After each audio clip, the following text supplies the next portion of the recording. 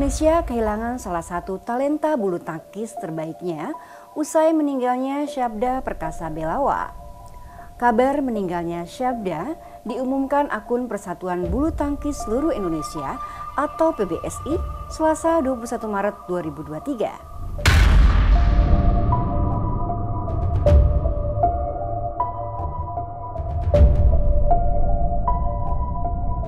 Sabda meninggal di usia 21 tahun akibat kecelakaan mobil di jalan tol. Mobil yang ditumpanginya, Toyota Camry, menabrak truk di jalan tol Batang Pemalang Senin 20 Maret 2023. Akibat kecelakaan tersebut, dua korban meninggal dunia. Salah satu korban diketahui bernama Sabda Perkasa Belawa yang merupakan pebulu tangkis Indonesia. Lainnya Ibunda Sabda sendiri. Saat kecelakaan, korban berada di dalam mobil Camry bersama penumpang lain. Meski sempat mendapat perawatan di rumah sakit, namun nyawa Sabda Perkasa tidak tertolong. Dari laporan pihak kepolisian, kecelakaan tragis itu bermula saat Toyota Camry Nopol B1824 KBN berjalan dari arah Jakarta menuju Semarang di jalur cepat. Sesampainya di kilometer 315 plus 200A, pengemudi mengantuk sehingga hilang konsentrasinya dalam mengemudi. Kemudian mobil oleng ke kiri menabrak bagian belakang samping kanan truk bernomor polisi AG8711V yang melaju di jalur lambat dan terdorong berhenti di bahu jalan. Kecelakaan pun tak terhindarkan. Sabda sempat mengemudikan mobil Toyota Camry saat berangkat dari kediamannya di Bekasi. Rombongan berangkat Minggu 19 Maret 2023 pukul 23.00 WIB. Mobil sedan yang membawa rombongan keluarga dikemudikan oleh Sabda dari rumah hingga di rest area Cikampek.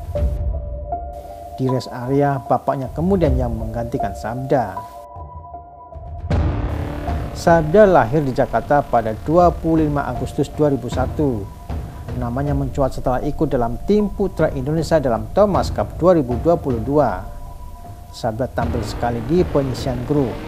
Dia menjadi penentu kemenangan Indonesia 3-2 atas Korea Selatan usai menang 3 set melawan Yoon Kyu Lee. Selepas Thomas Cup, Sabda sukses menyabet juara pertama Lithuanian International 2022.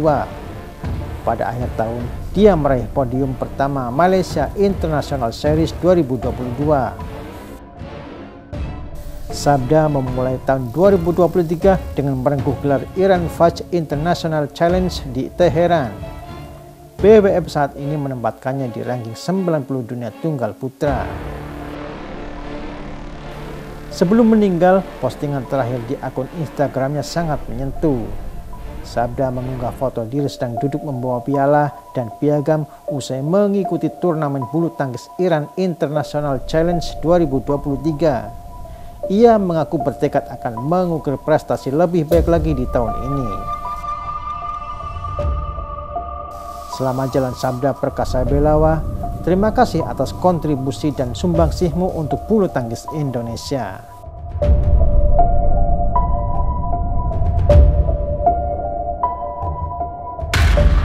Putra potensial itu sedianya sedang meniti karir di kancah internasional. Meninggalnya Syabda menjadi kehilangan besar bagi dunia bulu tangkis tanah air.